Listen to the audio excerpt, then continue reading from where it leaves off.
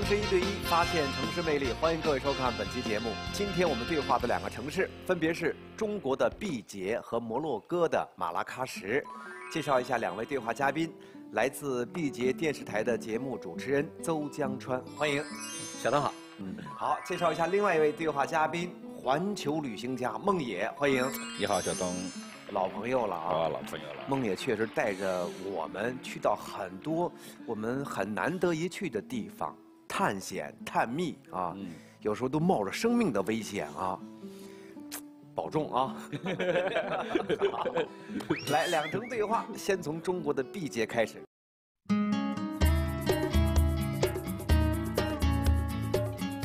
毕节位于贵州省西北部，在地理位置上靠近四川和云南，是一座历史悠久的城市。大家好，我现在呢是在贵州的毕节。那我身旁的这位呢，就是我在毕节的好朋友小鱼。小鱼，跟我们的观众朋友们打个招呼吧。观众朋友，大家好，欢迎来到毕节。你看，我知道这个毕节是彝族聚居的地方，所以小鱼特别贴心的也为我准备了一身彝族的民族服饰。呃，既然安妮来到了毕节，我要问问你，你知道毕节名字的由来吗？哎呦，这个我还真不知道。提个醒啊，嗯，你看到城门楼上那两个字没有？这写的是比基，对，它有什么关系呢？呃，古时候呢，我们毕节的彝族分支叫比基，汉文化融合之后，逐渐演变成了今天的毕节。哦，那既然知道了这个毕节的由来，接下来该带我们逛一逛了吧？跟我走吧。嗯，走。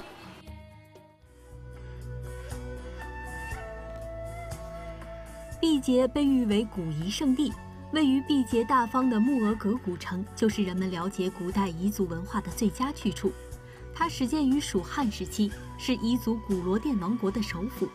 明朝时开始成为贵州宣慰府驻地。贵州宣慰府，哎，小鱼啊，这宣慰府是干什么的呀？宣慰府呢是中央任命的三品大员，也就是彝族土司办公的地方，相当于现在的省部级官员。哦，那么大的官呢？对呀。哎，我发现啊，上用的是这个两只小老虎，中间还一个葫芦的造型。别说你观察的还挺仔细。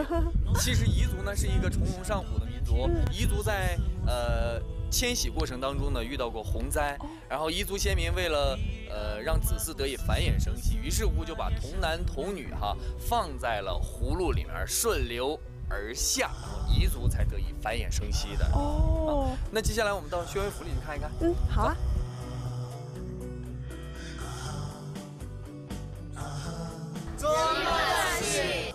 大家这说的是什么呀？指路拉西是我们彝语欢迎您的意思哦，谢谢谢谢。可我看这手还要这样是吗？嗯，我们彝族呢是行鞠躬礼，而不是跪拜礼。哦，啊谢谢大家。贵州宣慰府占地约五万平方米，是贵州规模最大的彝族建筑群。它背靠云龙山，坐东北向西南，呈中轴对称的布局。主要由八个院落和九间宫殿组成，其中最重要的部分就是眼前的这座宫殿。众位首领，今天我们共聚一堂，共同商议一下今年的火把节事宜。安妮，这就是王殿。哦，哎，这大家这是在做什么呢？啊，这是在模拟彝族土司和各部族首领之间的一个议事的场景。哦，哎。我发现这土司还是位女士呢，还挺漂亮，是不是？哎，我们彝族是一个男女平等的少数民族嘛。哦，但是这各部族首领都是和土司王一样，是可以坐着的吗？对呀，这也充分的体现了彝族人性化、平等的管理制度。哦，是这样。除了王殿，宣慰府还包括了军事、水利、交通、外交、司法等部门。哎，小玉，这上面写的是什么呀？我们彝族的文字飞科动古，是什么意思呢？就是当时的刑部，相当于现在的司法部门。哦。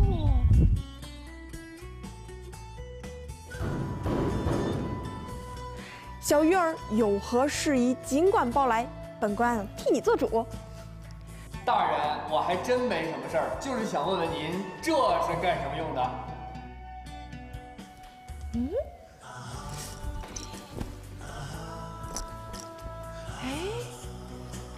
西很奇特呀！哎呀，四边还有着像触角一样的东西，这还真把本官给问住了。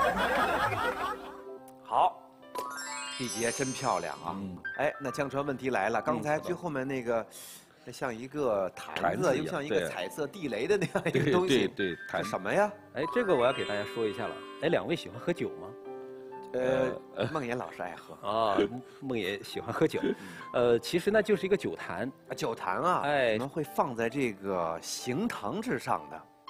为什么要放它呢？因为彝族爱酒，在彝族民间啊有一个习俗叫转转酒，就是盛一碗酒，然后你喝一口，我喝一口，哎，小东喝一口，就一杯哎酒，哎对转着喝，转着喝，呃，杯子换不换？不换，不换。不换是个关键点。纠纷的双方当事人来了以后会吵啊，哦，这个会闹，这个这个挺新鲜的吧？哎，闹了以后，大家法官不慌进入这个审判程序，先给大家每人抱着喝一口，喝了以后情绪稳定了，啊，先做庭外和解工作，哎，大事化小，小事化了，最后可能没有审判，大家就就就调解了，哎就靠和谐审判了，酒调解了。哎，但我觉得酒喝多本来没调解，一喝酒不是更来气了吗？不吵得更厉害吗？像你这样的人可能会是这样。哎，我们彝族性情耿直，就说你，我先理解他，就说一看到酒爱的东西，嗯然后喝一口就定了，可以安定、平息了平息情绪平息情绪你。想，一个杯子不换杯子，大家转着喝，嗯，它代表一种什么呢？感情彼此信任。信任，它不光是感情，它是信任。对，道理就是酒里面没毒，我能喝，你也能喝。如果能一转一圈喝下来啊，这事儿也没有多大的事儿。无非就是我占你们家一点儿地是吧？对呀你这个，你呢是吧？跟我老婆拌嘴了，嗯小事儿一桩，是喝的，那么为什么弯来弯去啊？啊，我们发现梦野老师这个很敏感哈，嗯它其实一个回水弯的作用。前一个人喝过了，那么他喝过的酒呢就沉在这个弯里，就不会回到坛里。那下一个人喝的时候，可以把那个回水弯里的那那点酒先倒了，他再吸，哎，哦比较文明，比较卫生，是我们呃这个彝族这个官衙里面一种政治智慧的体现。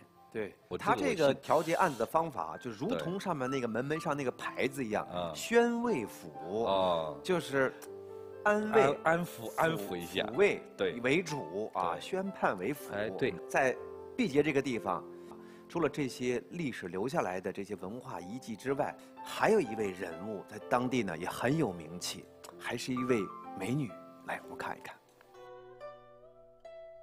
哎，安妮啊，我们毕节不仅是古遗圣地，还有一个称号是奢香故里。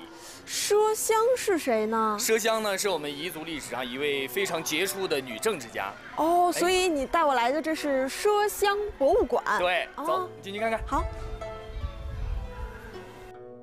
奢香博物馆是按照明代彝族土司的庄园风格建筑而成，占地面积三万七千多平方米，由麝香墓、洗马池和展览馆组成。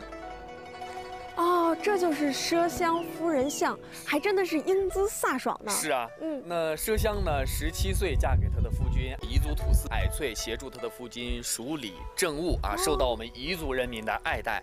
嗯，六年之后呢，矮翠病逝，于是乎麝香就代夫摄职，走上了从政的道路。哦，那岂不是二十三岁就开始从政啦？，对呀、那么年轻。哎，别看他年轻，用丰功伟绩四个字来形容啊，一点儿也不为过。哦，是吗？麝香生于一三五八年，二十三岁成为彝族土司后，为了当地发展日夜操劳，病逝时年仅三十八岁。他逝世后，朱元璋派遣专使吊祭，并按正三品规格为他敕建陵园、祠堂。如今的麝香墓已经作为全国重点文物被保护起来，而博物馆则展示了麝香夫人的许多历史功绩。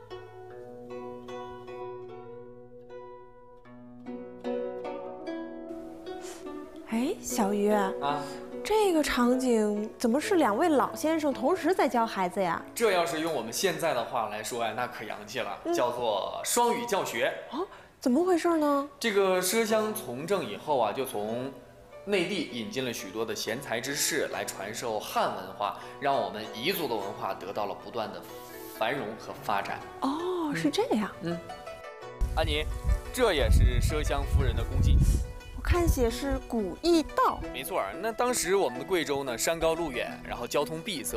呃，奢香夫人从政之后呢，她带领她的人民修筑了非常多的道路，从而使大山里的人民走出了贵州。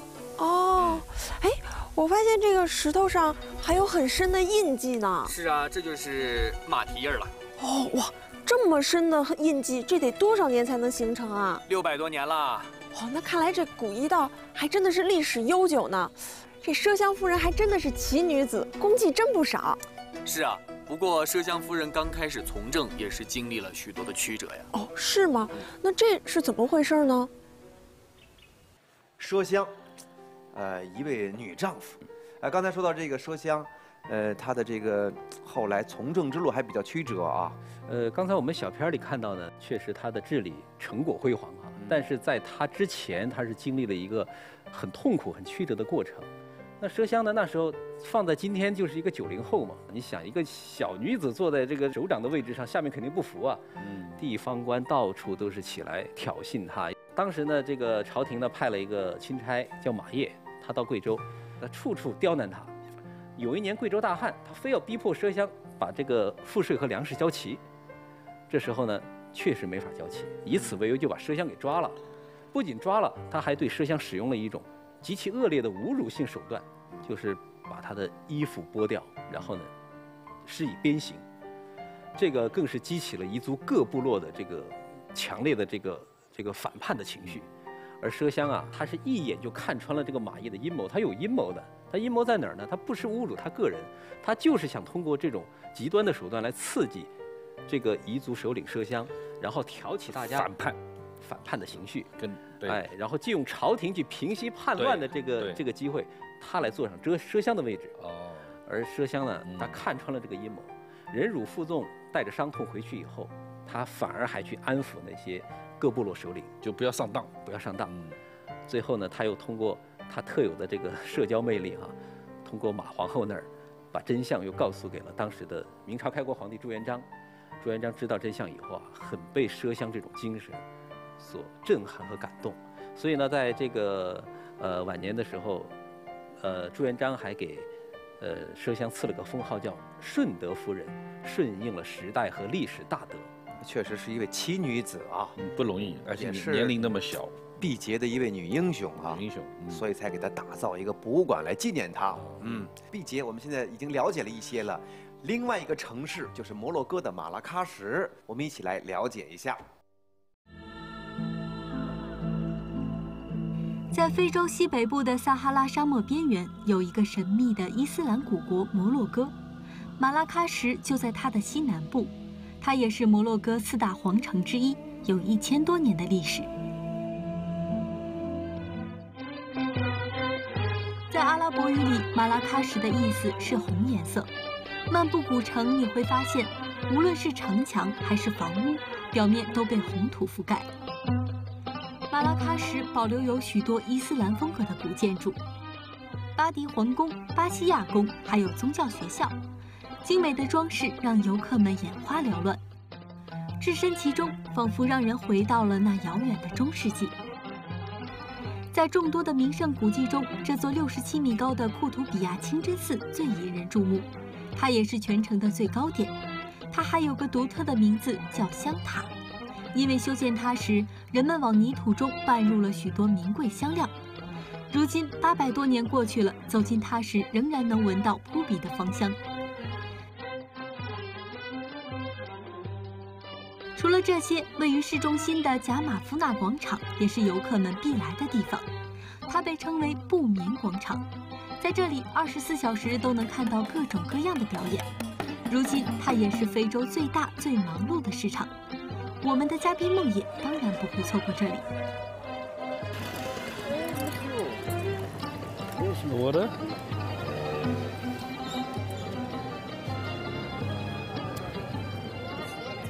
这是一个在广场上卖水的，它依然保持着以前他们在长途跋涉时候使用的那些传统的供水，这是供水带。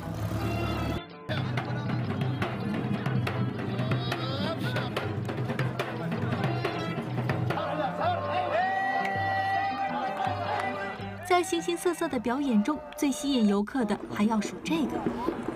后面声音很吵，这是眼镜蛇摆的摊位，他们的音乐跟蛇的起舞吸引了很多游客围观。他们通常都会把蛇挂在围观者的脖子上，拖到里面去拍照，引起大家的注意。只见舞蛇人吹奏着音乐，眼镜蛇像着了魔一样跟着音乐舞动起来，一会儿又像被催眠了一样一动不动了，看得游客们目瞪口呆。虽然舞蛇人的表演很精彩，但大家还是不免为他们担心。他们是博博尔人，在这个地区，大家都有一种养蛇的传统。博博尔人的表演引起了梦野极大的兴趣。他终于鼓起勇气，近距离地感受了一次这令人毛骨悚然的动物。我看见地上有眼镜蛇，剧毒的眼镜蛇，还有一个是撒哈拉蛇，叫角葵。角葵它的牙齿一个小洞，会喷出剧毒的神经毒素。So how many years you have spent time with the snakes? Uh, 50 around. Fifty years. Fifty years. Mustafa 花了五十年跟蛇在一起生活。Mustafa 跟我说，他有五十条蛇，他晚上睡觉说是跟蛇睡在一起，他的生活已经离不开蛇了，他对蛇的习性非常非常熟悉，所以他可以让蛇，呃，睡觉，呃，跳舞都是随心所欲，全部在他的控制之中。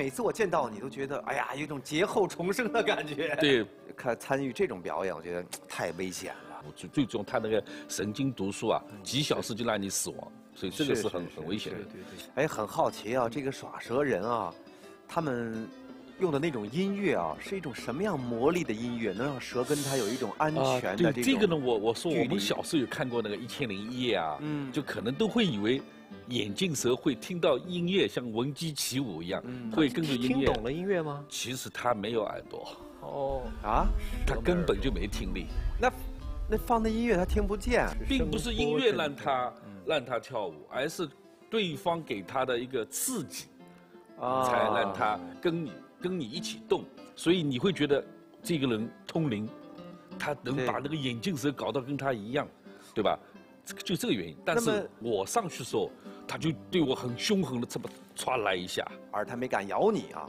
估计眼镜蛇也说：“哟，这个胳膊感觉比我还毒，躲着点儿。”就刚才这个各行各业的这种五行八作的，有卖东西、有表演的这个大广场，它是怎么形成的呢？它马拉喀什呢是在一个古商道，是一个必经之地，因为它在摩洛哥南部，是撒哈拉的门户城市，很多从非洲啊，从撒哈拉过来必经之地，聚集了大家在这里休闲的。你可以看出来，还是呃没有没有太大的建设，古城不变，要建就建新城。所以它的古城的味道就跟之前一模一样。那个卖水的那个人，刚才你看见那个，一直都在，啊只不过人可能他的儿子来了。对游客也比较愿意去体验一下以前的人是怎么喝水的，以前的人是怎么怎么怎么做的。所以我觉得起这个作用比较原生态的也是最有最有价值的。是，呃，刚才呢看到这个马拉喀什很多的房子都是红色的那种啊、表面颜色。对，这个城市的马拉喀什，它除了红色之外，还有一抹蓝色，也很有魅力。我们来看看是什么蓝色。在马拉喀什，除了古城区，还有一处让无数游客为之惊艳的马约尔花园。当您一脚踏入花园，喧嚣的马拉喀什似乎一下子变得清静下来。这座花园由法籍画家雅克·马约尔于1924年开始创建，此后他将大半生都用来经营这片花园。这座花园既不同于传统的欧式花园的大气磅礴，也不似阿拉伯式花园的绚丽豪华，倒是散发着浓郁的东方味道。莲花池塘、竹林小径、东方情调的亭榭漏窗，徜徉其间，恍似游览苏州园林一般。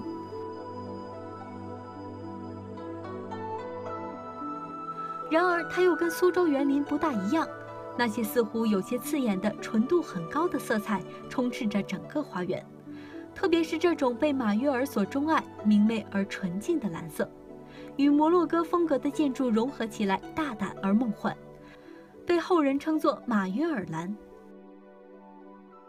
马约尔花园从1947年开始向游客开放。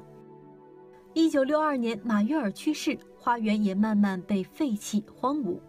直到1980年，时尚设计大师圣洛朗出现，他才重焕光彩。这个还真想不到，这个时尚设计大师，他曾经在这里居住生活过。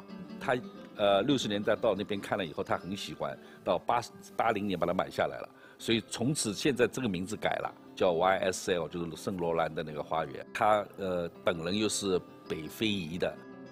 对，然后移民到了法国啊，或者欧洲啊，很多人有自己家乡的情节，嗯，所以他回来以后在这里打造个花园，把它做得更精致，他喜欢这个宁静，跟外面有个对立，其实对他的产品啊或者设计啊也是有影响的。这些融合的阿拉伯文化、北非文化跟他的欧洲的是有影响的，用了大面积的色彩，所以他在这边生活他非常喜欢，所以他在退休以后，在二零零二退休以后就住在了这个花园里面。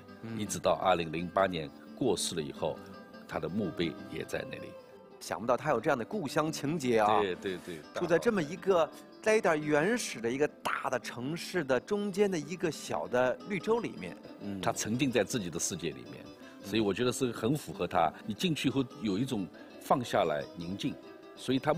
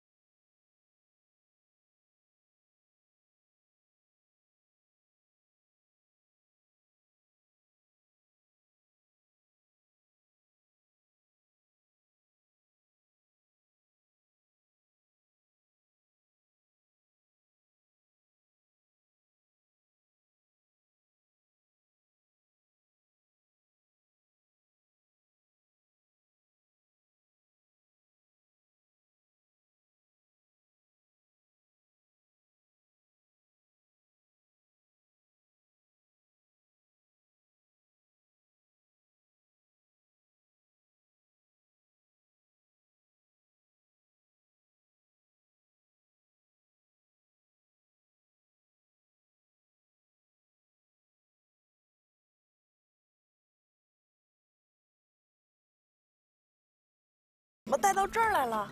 这竹林里边，难道是吃竹笋吗？咱今天吃的这个可比竹笋珍贵多了，好吗？啊，是吗？这竹林里除了竹笋还有什么呀？啊，看看看啊，再往前走就踩着了。咱今天要吃的是竹荪，这可是真菌皇后啊！哦，竹荪，我印象中竹荪不是也应该像普通蘑菇一样是个小伞的样子吗？现在呢，它是竹荪宝宝哦。哎，你看这个都已经炸开了，已经有网状结构了。哦，我看到了里面白色的东西。再长四个月，你就可以吃到竹荪了。啊，再四个月，那我今天岂不是吃不到啊？早就给你准备好了。真的呀？哎，想的真周到。陈大哥，我们来了。哎，给你准备好了，都准备好了，准备好了。这么多呀？你看，你看。长成这样我就认识了嘛，这就是竹荪。对，但是咱们当地盛产竹荪的话，不是吃鲜的吗？吃干的，一个是干的口感更好，二一个呢就是土腥味儿在这个晾干的过程当中呢都挥发掉。哦，是这样。是的。哎呀，那陈大哥，像这么好的竹荪要卖多少钱一斤呀？这个这个三百块钱一斤。三百一斤呢，那也不便宜啊。炖一只鸡也就用到三四根儿啊。哦，这样啊，那还行。咱们挑点。嗯嗯嗯，好。小鱼告诉安妮，竹荪在当地最地道的吃法是用来炖鸡，做法其实也很简单，将当地放养的土鸡剁块，用水焯，放入葱姜和盐之后煮到六成熟，再将用水泡开的竹荪切块，放入锅中与鸡肉一起炖，半个小时之后就可以出锅了。哎呀，闻着就好香啊！香吧？嗯赶紧我给你盛来尝一尝哎啊，原汁原味儿。哦好，来尝一尝。先尝尝。哎，嗯，哦，这鸡肉好筋道啊！咱毕节本地的土鸡，哦，怪不得。再尝尝竹荪。嗯，没想到这竹荪的口感是脆的，嗯，而且你看它是这种网状的，所以一口咬下去啊，它里面是吸满了汤汁的。你还可以尝到这个浓郁的鸡油香味儿，呃，我觉得里面还有一点淡淡的清香味儿。嗯，这应该是竹荪的味道吧？对，是竹荪的味道。哦，嗯，哎呀，真好喝！可是我觉得好像吃竹荪是这两年才开始流行的，是吗？这你就不知道了吧？其实上世纪七十年代的时候呢，这个竹荪呢就已经是非常的有名气了。哦，是吗？嗯竹荪鸡，呃，其实，在很多城市，只要吃这种贵州的美食，都会给你推荐这道竹荪鸡。竹荪鸡在上世纪七十年代就很有名气了啊，怎么回事呢？一九七二年呢，大家知道是美国总统尼克松特使基辛格访华。呃，中国呢也非常重视他的这次访问，所以啊，连上菜的菜单呢，经都是周恩来总理亲自挑选。当时在全国各地遴选出了几大名菜，其中有一道菜啊，叫这个竹荪芙蓉汤。那里面用的竹荪就是我们毕节织金送去的特级竹荪，啊，呃，当时呢，这个周总理据说给他夹菜的时候呢，呃，还特别说这在中国可是大补啊，您多吃点。然后基辛格呢也很幽默说，嗯，我都很胖了，我再吃的话我就不行了。最后果不其然，他回国以后啊，美国的一个记者写了一篇文章就调侃说，呃，基辛格这一次访问了中国，是不是被周恩来总理的这个竹荪汤给喂胖了呀？所以还有这么一个历史典故。也正是从那时候开始，七十年代竹荪的这个美名就传遍世界了。那么为什么竹荪特别好呢？嗯，这里说到竹荪好的话，就是要说一下它的营养了。嗯，呃，好在什么地方哈、竹荪呢，它我们知道菌类呢，一般都是对人体免疫力有提高的作用，而竹荪呢，作为这个真菌皇后哈、它的这个免疫力更强。我们那里长寿老人，比如说一个区的长寿老人多达六十多位，百岁以上的老人。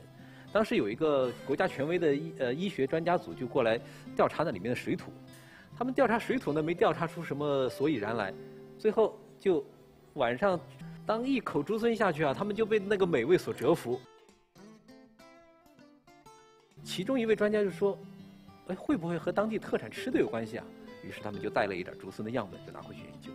结果一研究呢，就意外地发现了竹荪里面有很明显的抗肿瘤成分，所以呢，就得出了一个结论：可能在我们贵州毕节啊，这个癌症发病率不高，也和当地长期大量使用这个竹荪是有关系的。哦所以两位到了我们毕节，到了织金啊，我一定会把上好的竹荪汤摆在你们面前。欢迎两位，欢迎两位。好好好，好，我们马上呢再来看看马拉喀什有什么美食啊？来看看梦野给我们带来的新发现。马拉喀什是一个美食天堂，而杰马富纳广场就是美食家们必来的地方。尤其是夜幕降临时，空气中弥漫的浓烈香味刺激着每个游客的食欲。在这里，饼是最常见的小吃。如果您逛饿了，各种各样的烤饼总有一款适合您。您看，这可不是印度飞饼，它是直接将大薄面饼贴在烧热的铁球上，很快就能烤熟，薄薄脆脆，看上去是不是很诱人呢？马拉喀什的烧烤串其实也很有名，先在肉串上撒上盐、辣椒粉、孜然等，然后把肉串在烤架上进行烧烤，最后夹在厚厚的硬面饼里，就可以大快朵颐了。如果说起当地人最爱吃的，还是这叫库斯库斯的美食。它是将北非产的小米用鸡汁蒸熟后，铺上一层奶油再蒸，反复三次，再将各式肉类汤汁淋上，吃上一口，鸡汁的甜，奶油的香弥漫在嘴里，那叫一个舒坦。然而，对于我们的嘉宾梦野来说，他最钟爱的还是这种叫瓦罐鸡的美食。把瓦罐从高温的地窖里取出，撕开表面的油蜡纸，看着这热腾腾的鸡块从瓦罐里倒出来，你有没有流口水呢？这个看着很香啊，这个做法怎么像我们贵州的做法呢？这个 瓦罐啊，瓦罐鸡。对，但瓦罐鸡呢，最大的特点呢，它不是用，是放在火里烤的，它这个瓦罐鸡是把食材全放在一个罐里面，最后重要的是一个蜡质，油蜡质把它封住，然后呢，地上有地窖，一个圆的，里面大概可以放十几个瓦罐，下面呢用的是一个不是明火，是炭火，是炭火，并不是火在烤它，是靠这个温度焖熟的，叫罐焖鸡，这样特别入味儿。呃，比较松软。但是又又不糜烂的，有一丝丝在里面的。它这个做法，它里面水气循环，它焖住的，也不用去添加水分，最后倒出来就是最好吃的美食。肥水没外流，我的口水都要流出来了。你看到有吧？就是刚才不是说到马拉开西那个大广场吗？但是这个是很多游客去吃的，嗯，当地人并不在那里吃，嗯，当地人去哪儿吃啊？我吃的那个瓦罐鸡才是当地人吃的。哦，谁带你去的？就是当地人啊，当地人是跟我这么说，呃，广场上东西呢，给你去领略一下，体验一下。我带你去吃一个我们外地人到马拉开去出差的时候，会特意到这地方美美餐一顿。所以我可以看在吃饭餐厅里的人，餐厅不大，好几个五六个，都是那些呃本地人色彩或者外地人，但不是游客。嗯，但不是游客，对，所以他们特爱吃。老板啊，看到我们是中国来的啊，他可能也比较喜欢中国，所以他听说我们中国人特别热心，结果他干了一件事，嗯，什么？他当场拿一张纸，帮我把那个配方给写下来。哇，这是啊，祖传秘方嘞，就就改了。那个我们是一月份，快要过，就是阳历新年，所以他特意写了一句什么？呃，欢迎你们，祝你们中国朋友什么新年快乐什么？对对，听。以后要是我有机会去的话，我一定先自报家门，我是中国人。呃，我呃，我觉得应该去一下。如果去那里旅游啊，大广场是必去的，对吧？但别忘了去尝试一下我吃的这个瓦罐鸡。你现在真的就可以在中国通过那个秘方开一家啊，摩洛哥马拉喀什的这个瓦罐鸡店啊。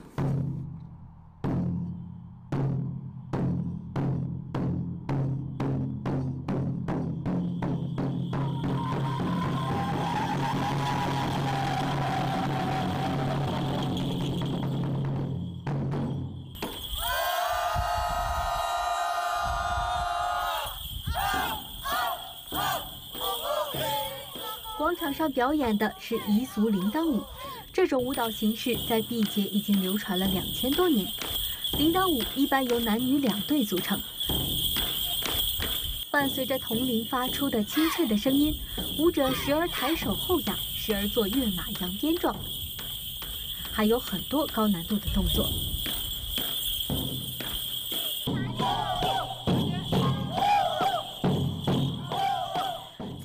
中，舞蹈队形也是变化多样，一会儿方形，一会儿圆形，一会儿又变成了三角形。整个舞蹈中，男子刚健豪放，女子柔美舒展，让人耳目一新。二零零八年，彝族铃铛舞被列入国家级非物质文化遗产名录。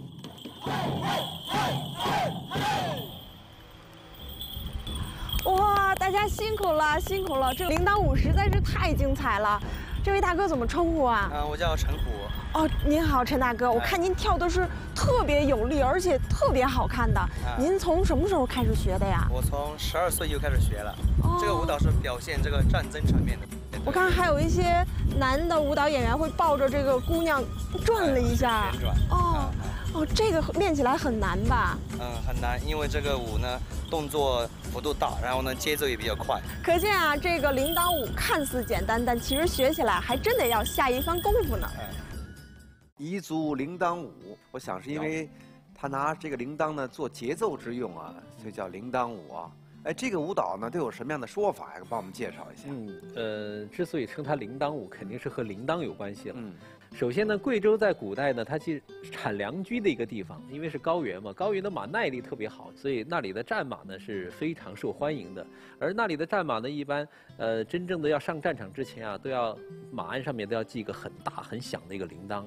当后方的战士听到前方的铃铛还在响，说明我们的战马还在厮杀，还没有倒下，啊，给人以希望和信心，继续战斗。铃铛舞其实是为了告慰那些在牺牲在战场上的那些将士跳的一种舞蹈。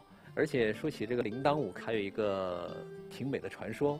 当时一位将军啊，为了吸引和牵制敌军，他就把很多匹马的铃铛绑在了他自己马的身上，把大部队都引了过来。但是呢，引的过程当中呢，遇到了一个悬崖，他不得不最后跳崖坠崖身亡了。而他的尸体呢，恰好就被悬挂在了这个半山腰上。当后来战士去找到他的时候呢，因为太高又弄不下来，于是当地的少数民族，主要是彝族同胞，为了不让这个尸体受到鸟的这个啄食，就每天自觉主动的在山下摇着铃铛，把那些哦鸟给驱走，哦把他们赶走，不让他们来骚扰这哎个。所以铃铛舞的名字就是这么来的。光听名字“铃铛舞”，以为是这种彝族的这种男欢女爱的这种高点舞蹈响声出来，啊对，嗯原来还有这个故事。想不到其实是跟战争有关的一个啊，看起来很激昂的舞蹈。对，呃，今天另外一个对话城市马拉喀什所奉献给大家的依然是舞蹈。来，我们看看是什么。摩洛哥的原住民是博波尔人，博波尔人向来以能歌善舞闻名。由于受到阿拉伯文化的影响，形成了很多独具特色的舞蹈。作为摩洛哥皇城之一的马拉喀什，这里保留的舞蹈也很多。有的舞蹈用来祈祷和祝福，有的用来庆祝播种、丰收。这种布纳什舞，舞蹈时男女身穿民族服装各成一排，女子双臂相挽，男子敲着手鼓，边唱边舞，传递着快乐。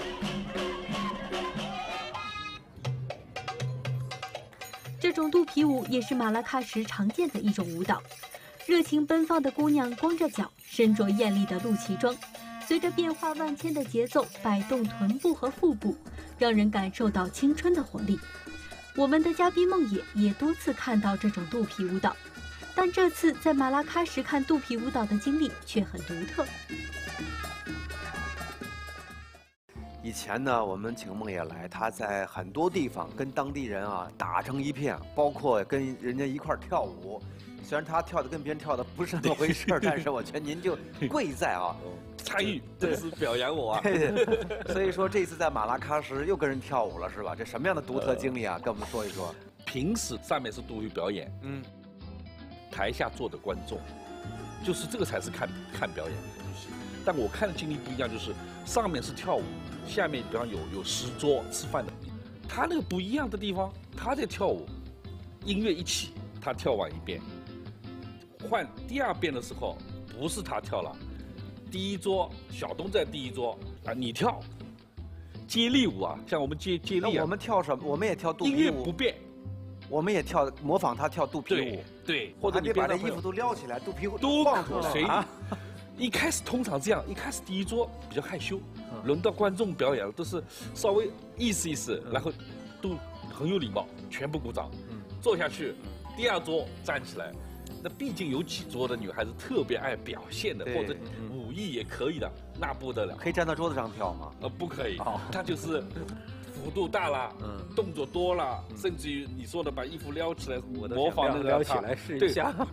到最后就不得了了，最后跳到后来甩头发，哦，就里面肚皮舞里面有扭，还有一个把头发甩，他不头发很长嘛，嗯，我觉得那个挺难，为什么？我觉得头晕，一边甩一边还扭身体啊。再后来全跑到舞台上去了，两个女的、三个女的自己变斗舞了。开，始狂欢了。对，变变狂欢节了，后来？互动，啊观众成演员了，成演员了，成观众了。对，然后演员成评委了，就甩到后来是各种甩法了，直过来甩，横过来甩，反正就是逗嘛，大家要表达你，你确你还真不适合甩头发，你没头发，没头发头发少为什么不适合甩呢？女孩甩我觉得好点，为什么？